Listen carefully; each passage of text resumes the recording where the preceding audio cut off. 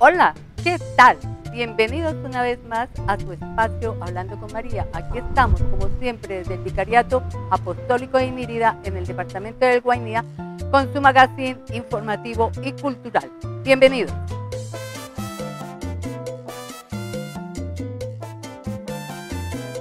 El dominio de la lengua materna sirve para enriquecer la comunicación entre padres e hijos. Además, sirve para afianzar y preservar una cultura autóctona, ancestral. Sirve para guardar y preservar la historia, las leyendas, las artes, las tradiciones y para que la persona que maneja la lengua tenga un futuro mejor en la educación, un proyecto mejor de vida. Esto le dando autoestima y valores al individuo hablante de la lengua nativa. Para esto en Colombia existe la ley 1381 del año 2010, donde se establece la protección a las lenguas nativas y a los hablantes de la lengua. Sin embargo, tengo unos invitados muy especiales que serán ellos quienes nos van a contar a través del programa en qué consiste todo esto de la lengua nativa y de la importancia tan grande que es para un país contar con las lenguas nativas. Un programa diferente pronto por comenzar.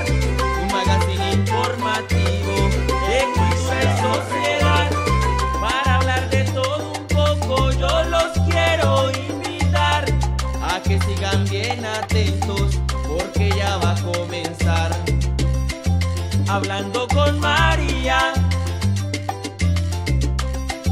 Hablando con María. Hablando con María. Hablando con María. A mi lado izquierdo tengo al experto Efraín Bautista. Él es eh, preservador cultural de la lengua puinabe, escritor y lingüista. Y a Monseñor Joselito Carreño Quiñones, el obispo del Vicariato Apostólico de Mírida, experto en muchos temas y entre ellos también en etnolingüística.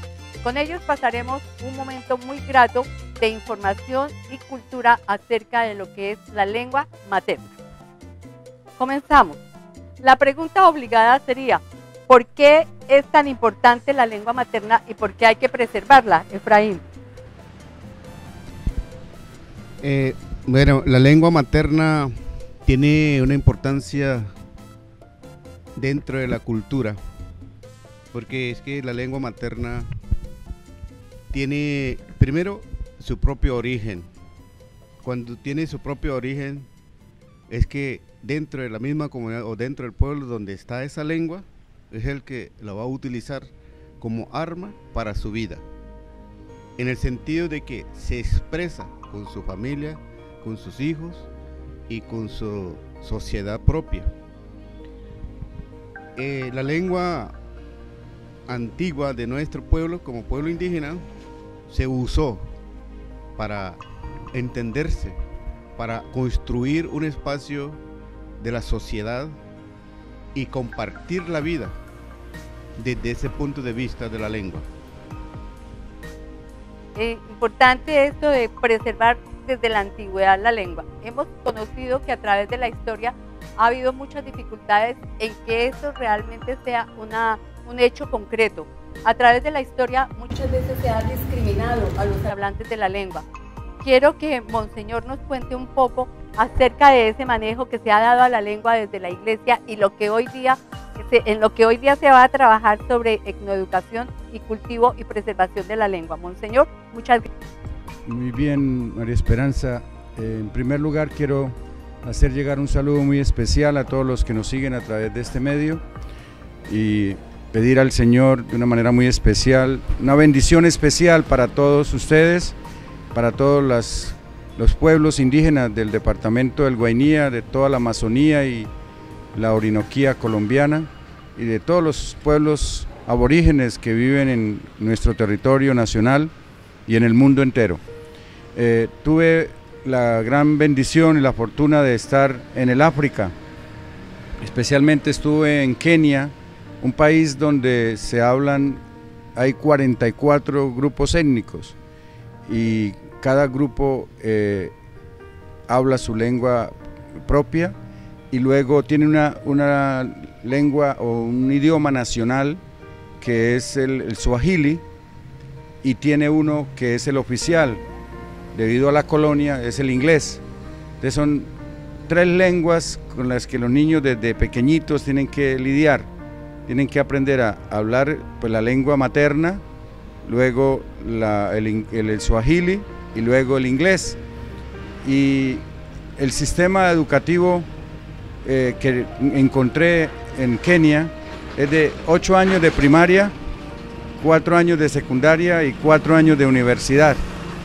Y la estructura está en que la lengua materna eh, es la primera que hay que estructurar desde el punto de vista eh, escrito, porque los niños y, eh, lo hablan de manera oral, o la, tradición es tradicional de los diferentes pueblos es oral. Y por tanto para poder preservar la lengua se necesita ponerla por escrito. Y para ponerla por escrito hay que desarrollar la gramática, hay que desarrollar los, diccionarios y hay que desarrollarla como una materia transversal que vaya a acompañar todo el proceso educativo de los niños desde momento que inicia el proceso de la educación formal hasta que termine al menos el undécimo de bachillerato, en el, caso de ella que termine el grado 12. Entonces se aprende la, lengua local se, continúa aprendiendo ya como una materia y, todas las demás materias básicas se enseñan en inglés, que es el idioma como más universal y donde están para, para ellos eh, pues les facilita más el aprendizaje, por ejemplo, de las matemáticas, de la química, de la física, de todos estos eh, enseñados en inglés. Y el, y el tener esa estructura de esa manera ha hecho posible, por ejemplo, que en este momento en uno de los grandes escritores que hay en el mundo, que se llama eh, Wationgo, es de, origen keniano, del grupo étnico de los Kikuyos. Él ya ha sido postulado como para ganarse el premio Nobel de Literatura a nivel mundial. Ha escrito un número grandísimo de libros y, lo, y la característica de esos libros que él escribe es que lo describe en la lengua materna, en la lengua materna, gracias a que se desarrolló ese, esa, y esa es la manera, el vehículo fundamental para expresar la cultura, para expresar la visión eh, del, cosmos, la visión cosmológica de cada eh, grupo étnico y es la manera también de, de comunicar la sabiduría y de preservar la tradición, en las culturas a través del lenguaje. Y por eso es tan fundamental poderlo colocar por escrito, sobre todo en un tiempo en el cual la tradición escrita es la dominante a nivel mundial. Entonces por eso ese es un gran trabajo que tenemos que desarrollar nosotros y nosotros como iglesia, donde quiera que vamos, buscamos preservar precisamente la lengua, la lengua propia. Y por eso el vicariato está embarcado en este tiempo. desde que yo llegué estuve interesado en este proceso, pero fui muy ambicioso al comienzo, que quise que se hiciera el proceso con todas las instituciones que teníamos administrando, que eran 46. El proyecto salía demasiado costoso y por tanto hasta el año 2017 se logró focalizar en el institución educativa eh, Manuel Quintín Lame en, el nuevo municipio de Barranco Minas con sus escuelas anexas. Son seis instituciones las que están incluidas en el proyecto y ya vamos en la segunda fase. Y lo fundamental de este proyecto es aprender la gramática y el, y el vocabulario y aprender a escribir, a leer y a escribir en lengua propia de cada, en este caso los piapocos y los icuanes, que son la mayoría en esas en esa región. La idea es que ellos eh, logren desarrollar esa habilidad para que puedan escribir su propio pensamiento, su propia filosofía, su propia visión de la realidad y sus propias tradiciones y saberes indígenas en lengua propia. Y el, español se venga a aprender como una segunda lengua y luego de unos años pase a ser el español la lengua en la cual se enseña lo demás, pero al menos hasta tercero de primaria que solo se enseñe el español y no se enseñe en español. Esa es la clave fundamental.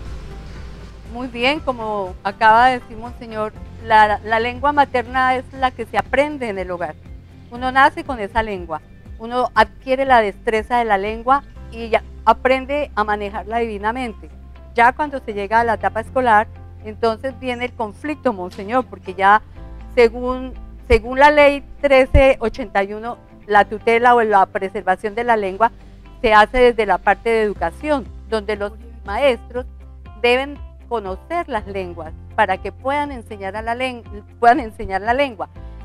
El caso en Colombia, diría yo, es que llegan los niños de, las, de los hogares de lengua materna, de las comunidades indígenas, y de una vez los trasplantan a una cultura del lenguaje español. Entonces el niño escasamente conoce una o dos, tres cositas de, lengua española y empieza a tener un déficit en la, en la escolaridad. Lo que dice Monseñor es muy cierto, hay que tener una gramática, una fonética y una lingüística propia para que ellos puedan desarrollar este sentido. La lengua es el reflejo entonces de las costumbres y de las vivencias en el hogar. En el caso de que se desaparezcan las lenguas, se, desaparece toda una cosmovisión, todo un proyecto de vida y todo un bagaje cultural. En ese caso, Efraín, ¿cómo, ¿cuál es el estado de la lengua en Colombia? ¿Cómo es ese desarrollo de las lenguas en Colombia? ¿Cómo estamos? ¿Si hay preservación de la lengua? ¿Y si se está haciendo aplicación de la ley que preserva la lengua, la 1381? Bueno, eh, analizando la situación de las lenguas en Colombia, eh, se establece inicialmente la legislación o la ley. En este caso tenemos, en este momento, recientemente está la ley de lengua. Ojalá el Estado pueda entender que existimos los pueblos indígenas en Colombia que necesitamos fortalecer nuestra propia lengua para seguir a la manera como nuestra cultura ancestral se estaba desarrollando en este territorio. Ahora, habemos eh, personas que hemos luchado, hemos querido que esto se recupere de una manera total. Es decir, que el mismo sistema educativo llegue a entender de que lo que menciona aquí Monseñor, eh, muy entendido, muy necesario, donde se pueda dar que la enseñanza eh, en los pueblos indígenas se debe hacer con sus propias lenguas. Eh, todo el contexto de la cultura se debe comenzar a escribir, porque estamos en un tiempo de, escritura. Antiguamente nuestra cultura eh, no tenía eso, no existía la escritura. Existía la tradición oral. Nos expresamos oralmente y enseñamos oralmente. Eh,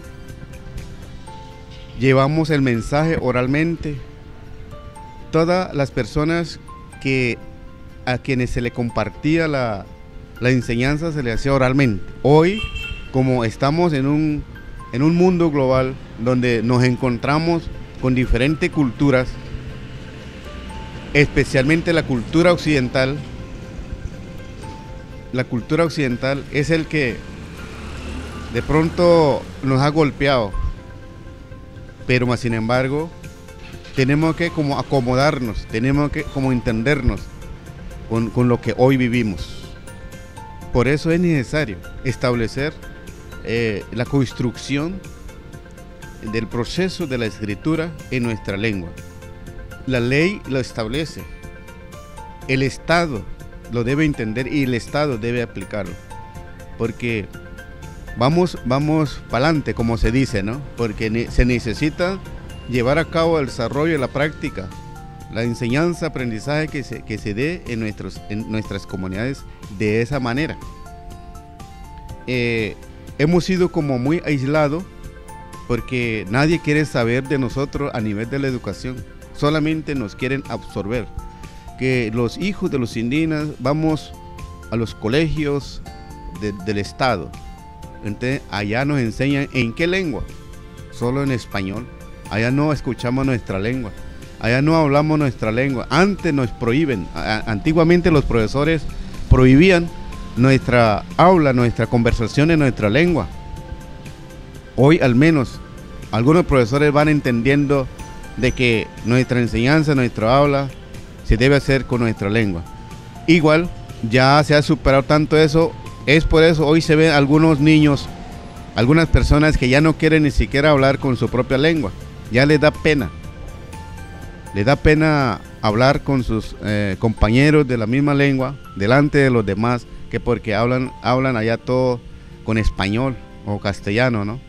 Entonces, esas cosas nos han venido perjudicando a nosotros, pero si el sistema de, de, lo que hoy está en Colombia comienza a, dar iniciativa, comienza a trabajar de esa manera, yo sé que aquí vamos a cambiar la forma de nuestra vida en la educación. Es importante hablar de la educación porque desde la educación con la escritura propia de nuestra lengua, vamos a levantar un mundo diferente. Será un ejemplo para el mundo que se, que se va a conocer, que se va a dar a conocer. Y ese es nuestro interés como pueblo indígena. Vamos a un corte de comerciales y retornamos.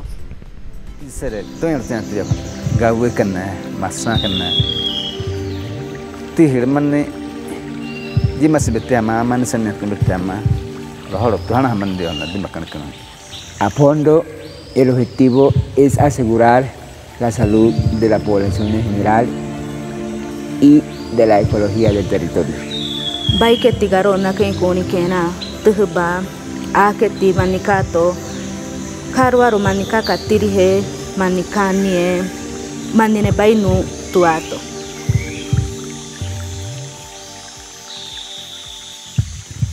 Ya retornamos de comerciales y seguimos con nuestros invitados. Eh, nuestro invitado Efraín nos hacía dos precisiones importantísimas. Una desde el punto de vista educativo. Se están tomando conceptos de lenguaje español, de lengua española, para trabajar con los niños que manejan la lengua materna, cosa que realmente no es, no es funcional porque los niños van en desmedro de poder avanzar en la educación. Para eso, Monseñor nos va a contar qué está pasando desde la educación eh, de, la iglesia, cómo ellos están manejando la parte etnolingüística en los 26 colegios que manejan desde la contratada. Y por otra parte, vamos a hablar también del concepto de racismo y marginación que viven los hablantes de las lenguas indígenas. Monseñor.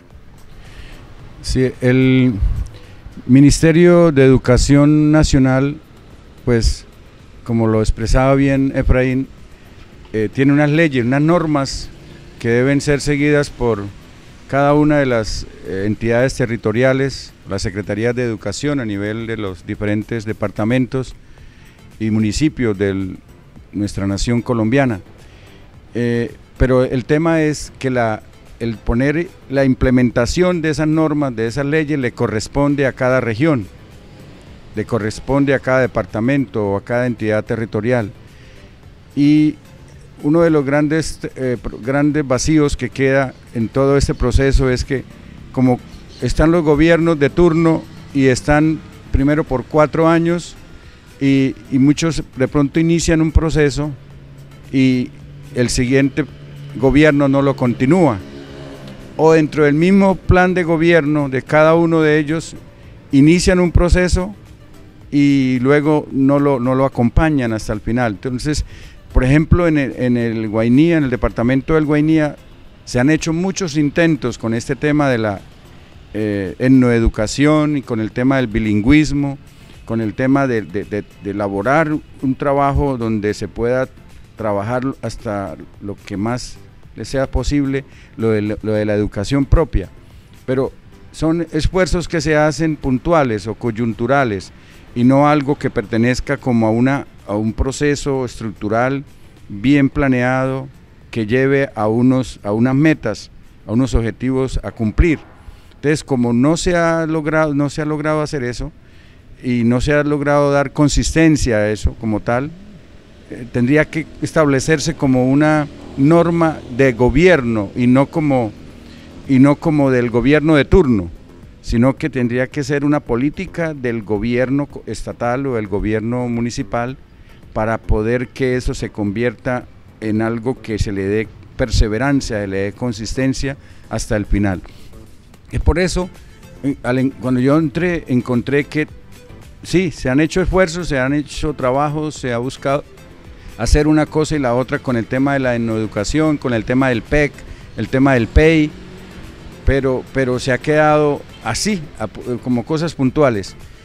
el gran trabajo es hacer algo que genere un proceso y que genere, eso implicaría también generar un, un sílabos para la estructuración de una manera, una educación diferencial, que ese es el otro problema. En Colombia tenemos un sistema educativo homogéneo. Entonces, mientras se tenga ese sistema educativo homogéneo, va a ser muy difícil poder rescatar este tema de la educación y el tema de la educación propia, el tema del bilingüismo. Va a ser casi imposible, por más esfuerzos que se hagan.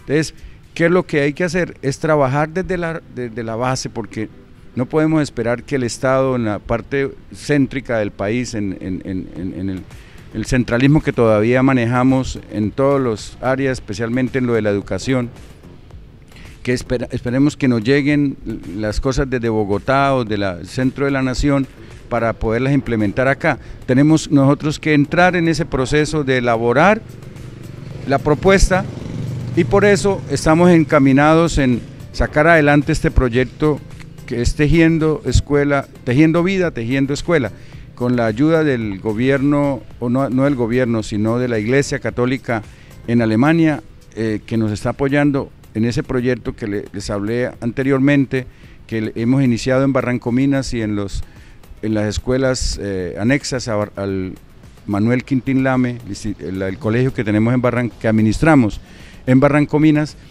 Desde ahí queremos elaborar el, producto final que viene a ser la, como la tercera o cuarta fase del proyecto, estamos en la segunda, el producto final ¿cuál es?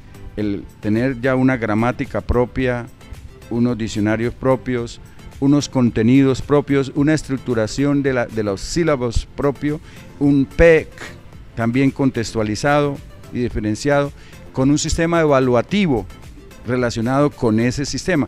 Pero para poder que, bueno, llegar hasta ahí, ya cuando lleguemos a ese nivel, ya ahí es donde se envía el producto al interior del país para que sea estudiado, revisado y aprobado. Entonces ya cuando ya se, se haga ese proceso, ahí sí ya viene a darse todo el proceso de la implementación de ese producto y la evaluación va en relación a, a ese, a ese sílabos y no lo que tenemos ahora. Como tenemos un sistema eh, monolítico, o sea, homogéneo para, para, la educación, de las pruebas a ver, las pruebas IFES y las pruebas a ver que se hacen, todas se hacen en español y todas se hacen diseñadas en el interior del país. Entonces los niños de nuestra región, si estamos implementando un, un, sistema educativo diferente, contextualizado, siempre nos van a dar bajas eh, resultados ante ese tipo de sistema de, evaluación. Pero si tenemos un sistema evaluativo que, vaya de la mano con el, el sílabos o con el sistema educativo diferencial que se esté implementando, ahí sí ya vamos a tener esa posibilidad de sacar, de saber las capacidades intelectuales que tienen nuestros eh, niños en los pueblos y comunidades indígenas del departamento del Guainía y este sería una manera también de replicarlo en toda la nación donde estén presentes los pueblos indígenas. Sería una maravilla poder hacer posible que este sistema se pudiera también empezar a elaborar en otros lugares del país. Entonces, este que busca hacer un, proyecto piloto tiene unas metas y esas metas es el tener un proyecto educativo eh, diferencial, pero no basado en teorías o copia y pegue, sino en trabajo hecho desde la base, desde lo que se tiene y, desde la práctica de, cada contexto, de cada cultura donde estamos presentes. Excelente esto, Monseñor. Me parece importantísimo lo que usted acaba de decir, porque de todas maneras, como todos sabemos, existe la ley de protección a los hablantes de la lengua y está consagrada en esa ley que de todas maneras, desde eh, la parte educativa, se establezcan los lineamientos para que se pueda impartir la educación en lengua propia. La cuestión es que los, gobernantes de todos los de todos los departamentos donde se habla lengua, de donde tenemos hablantes nativos, se pongan de acuerdo y diseñen la estructura correspondiente a los currículos, como bien acaba de decir Monseñor, y establezcan los PEI. Algo que me, me parece eh, muy importante es que ustedes ya están haciendo este ejercicio, ¿cierto, Monseñor? Ya se está trabajando en esto. El, gran problema que tenemos con los gobernantes de nuestra nación es el, tema de la corrupción. O sea, que ellos, el interés en el sistema educativo es, es eh, el, dar lo mínimo, o sea, ellos no están comprometidos con el bien integral de cada niño y de cada niña y de las personas que allí habitan, sino que están interesadas es en, la administración de esos dineros y de pronto cuántos recursos se pueden quedar a ellos. Pero no, la motivación central no está en la formación de estos niños, en la educación integral de estos niños. Entonces, mientras en el corazón de nuestros líderes no, está, no esté primero la formación, la educación integral de cada uno de estos niños y niñas que llegan al sistema educativo, pues nunca se va a poder implementar todo esto que estamos diciendo. El, vicariato lo está haciendo por aparte, porque ni siquiera cuando hicimos el proyecto y lo llevamos al Ministerio de Educación, nos dijeron que no tenían los recursos, que no había recursos para eso y que iban a buscar ayuda internacional para eso. Y al final no los apoyaron no nos apoyaron con ese, con ese proyecto. Y eso, que era un proyecto que queríamos nosotros hacer de la mano con el llevar el proceso educativo que tenemos. Y no, no nos lo apoyaron, ni siquiera desde el ministerio. Entonces, esas iniciativas que son nobles y que de verdad buscan el empoderamiento de, de, los pueblos, en nuestro caso los pueblos aborígenes, de los pueblos indígenas, necesitan ese apoyo tanto del gobierno central como del gobierno departamental para que se saquen adelante. Que haya concordancia en la norma y la aplicación de ella, porque si hacen una ley y no la aplican, quedamos en las mismas.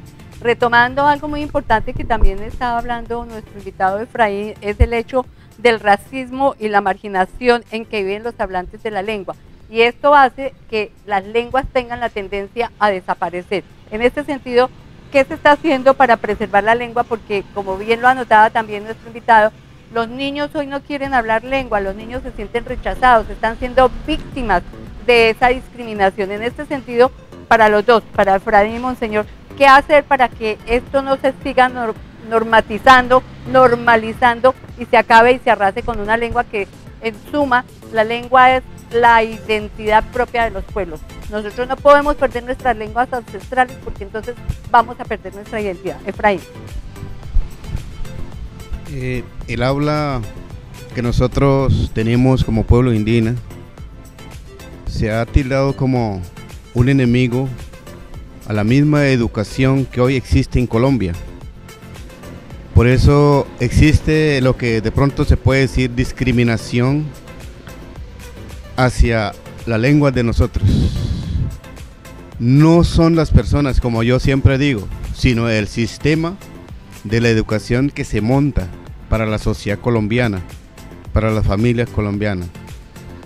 Eh, lo que decía aquí el monseñor, allí eh, eh, detrás del escritorio, desde, desde la parte central de, del país, donde ingenian los, los sabios de la educación, quieren hacer lo que a ellos les parezca mejor ya a través del proceso miran, observan al mundo indígena, a la cultura indígena, a los pueblos indígenas, pues se siente que allí se define algo que va a decir, aquí todavía no. Este, esta ley que nació todavía no se aplique. Hagamos que estas cosas sean así sin consultar, sin hablar con aquellos hablantes, ¿cierto?, de otra lengua del país, que somos nosotros como pueblo indígena. Entonces, nacen, eh, nacen las leyes que hablamos, ¿cierto? Supuestamente van a favor de la creación del espacio para la educación propia de los pueblos indígenas. Aquí, en nuestro territorio, en departamentos del Guainía, hemos tenido experiencia. Monseñor lo mencionaba. ¿cuál es el que discrimina a nuestro sistema de nuestra lengua? La forma de nosotros expresarnos libremente. Uno, es el mismo eh, método que se da en, los- en los- en las escuelas.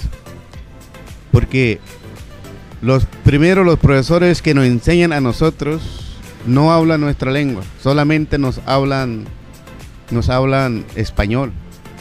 A veces entendemos, a veces no entendemos. Eso nos perjudica en el proceso de nuestra vida. A veces nos hace daño, un perjuicio, porque nos vuelve, eh, po- podríamos decir entre, entre paréntesis, eh, como locos.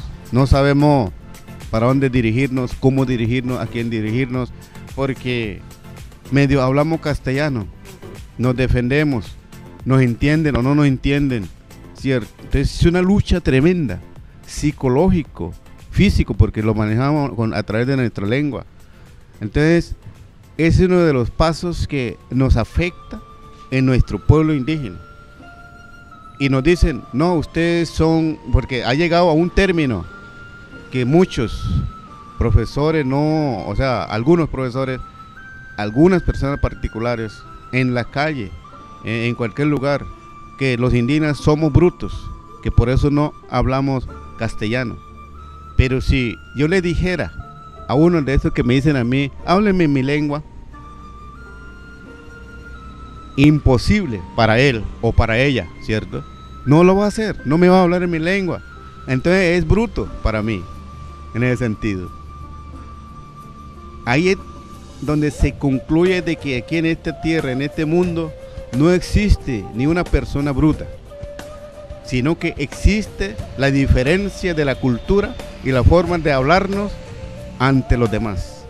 Y que eso merece respeto y que eso merece una enseñanza entre nosotros para que nos podamos comprender. Nos hace falta es que nos comprendamos también como sociedad, porque los indígenas tenemos nuestra propia cultura, nuestra lengua propia. Bueno, otra de las de la forma como se discrimina a nuestra cultura es a través de la de la politiquería. El monseñor lo mencionaba hace poco. Esa politiquería eh, nos ha afectado de una manera muy tremendo porque los pueblos indígenas se montan nuestras autoridades a través de la política, supuesta política, porque es que si hablamos de la política es algo claro, algo que se define bien, pero generalmente vemos aquí la politiquería. Desde la politiquería no funciona la ley. Desde la politiquería no se puede aplicar la ley que está establecido por el Estado colombiano para que se aplique en las comunidades indígenas. Entonces la politiquería impide que ese trabajo práctico que se necesita allí en las comunidades a que se enseñe, a que se desarrollen actividades, a que se, a que se elaboren cartillas, que se elabor- elaboren eh, diccionarios, lo que decía el Monseñor, no ha permitido que se avance por ese lado por motivo de la politiquería, porque es que no, no, eh, yo puedo decir también de que aquellos que nos gobiernan siempre, ¿será que entienden lo que dice la ley? ¿O es que se hacen para que no funcione la ley de la educación en nuestro medio como pueblos indígenas? ¿Cierto? Porque es bueno entender eso. Los secretarios de educación que han estado acá deben también agarrarse de las normas y hacer respetar las leyes que ya existen a favor de la educación indígena en ese sentido. Ya por otro lado, eh, como yo decía, muchas personas nos ven a nosotros que somos indígenas, o sea, de la manera física, cuando nos ven físicamente, mira, ahí viene indígena, eso no habla castellano, no sabe expresarse, no sabe, no entiende, o le vamos a hacer trampa, seguramente va a entender, entonces, porque como no nos entiende, hay mucha forma como nos discriminan, o sea, porque no hablamos castellano y quieren que hablemos castellano, pero no quieren hablar nuestra lengua. Entonces, hay un conflicto eh, tal vez lingüístico que debemos manejar, eh, que debemos entender ahí para que todo mundo podamos manejar entre todos como pueblo que vivimos en una sola sociedad.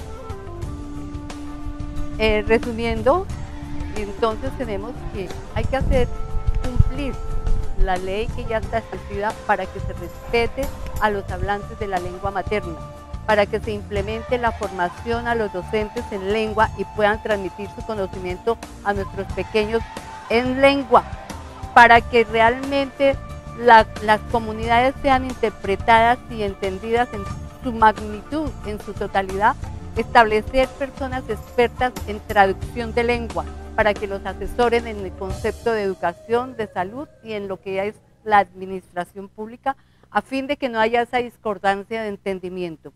Pregunto, en el país, ¿cuántas lenguas hay? Se dice que en el mundo hay alrededor de 7.000 lenguas. En Colombia, ¿cuántas lenguas tenemos? Y en Guainía, ¿cuáles son preferenciales?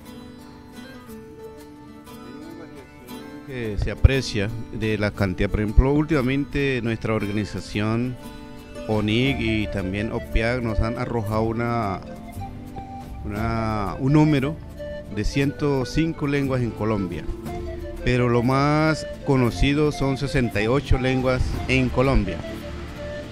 Realmente cada vez más se descubre eh, que existen pueblos indígenas en Colombia. De pronto han estado ocultos y cada día más se se van apareciendo, ¿cierto? Entonces por eso va aumentando la cantidad de, de los, de las lenguas que existen en Colombia. Aquí en Guainía, eh, de lo que ya he contado, ha llegado hasta 15 lenguas.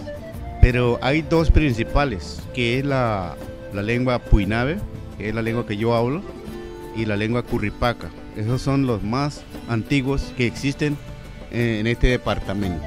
Entonces, eh, si contamos, porque otros han venido de Baupé, otros han venido del Bichada, otros han venido de Brasil, bueno, alrededor de- del entorno del departamento del Guainía se han metido. Entonces, es esa imagen que tenemos en cuanto a cuáles son las lenguas que tenemos en Colombia y aquí en el departamento. la respuesta que acaba de dar Efraín, porque si usted le hiciera esa pregunta a una persona del interior del país, ¿qué idioma se habla en Colombia? Todo el mundo le va a responder en español, la mayoría. La mayoría podría decirle, no, allá en, en Colombia solo se habla el español. Y acabamos de escuchar que según algunas versiones 106 o hasta más de 150 y inclusive hablando de las familias lingüísticas, porque hay una familia donde se desprenden las otras, los otros dialectos o los otros idiomas. Eh, por ejemplo, la familia lingüística de los curripacos, por ahí también está la familia de los piapoco, por ejemplo aquí en el Guainía.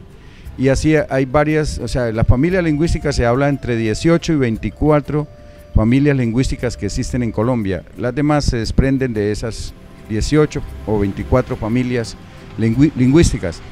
Pero es fundamental también lo que las observaciones que hacía Efraín sobre el- como los prejuicios que hay contra las, las comunidades, contra los pueblos indígenas en torno al, al que hablar su propia lengua, de la discriminación. Pero también hay que re- reconocer que de parte de las mismas comunidades indígenas, de, parte de los mismos pueblos, también se ha ido metiendo esa tendencia de los papás, los padres de familia, de no enseñarle a los niños la, lengua materna. Entonces niños, por ejemplo, que están creciendo en, en allá, que ya hicieron al menos los cuatro o cinco añitos en la casa, y uno le pregunta, ¿y usted habla la lengua? de-?" eh, le pregunta un poquito cuando ya están más grandes, ¿usted aprendió la lengua de su querida madre o de su querido padre? Dice, no, no porque no me la enseñaron. Mi papá no quiso o mi mamá no quiso, uno de las dos. O a veces los dos se pusieron de acuerdo que no, era, no había necesidad. Entonces también esa es otra realidad que también de pronto sería un examen de conciencia de parte también de los pueblos indígenas de reconocer que también hay, no solamente se debe a que se está perdiendo la lengua, el hablar la lengua indígena, no solo, eh, sí, lo que él mencionó, la lista que dio es, es muy real, es auténtica, pero hay que añadirle ese otro elemento, que también se ha ido perdiendo esa, esa valoración, ese aprecio por parte de los padres para enseñarle esa lengua a los hijos. Tomando lo que dice Monseñor, es importante que nosotros sintamos el orgullo de pertenecer a ese linaje ancestral, decirle a nuestros pobladores aquí, habitantes del departamento del Guainía, que no deben tener vergüenza de sentirse indígenas, de pertenecer a una etnia, a un grupo lingüístico, porque eso es lo que afianza la identidad y el orgullo de ser colombiano y de hacer patria. Monseñor Jefraín, muchísimas gracias y me queda un dolor en el alma terrible al saber que no, hemos, no, no sabemos valorar esa riqueza que tenemos tan grande en la lingüística de los pueblos indígenas.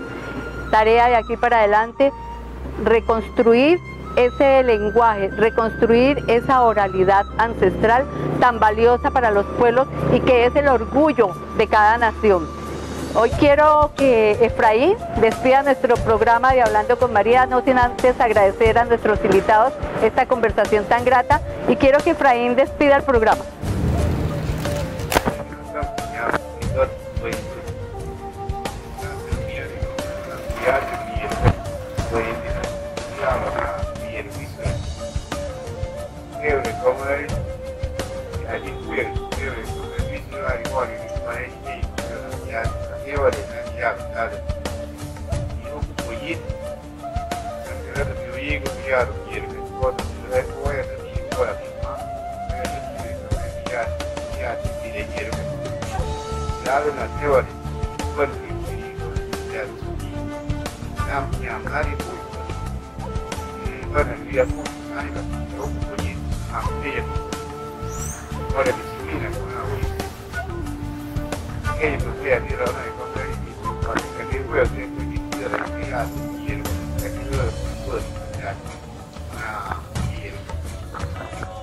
Bueno, y a ustedes amigos, muchísimas gracias y no olviden dar el link de me gusta.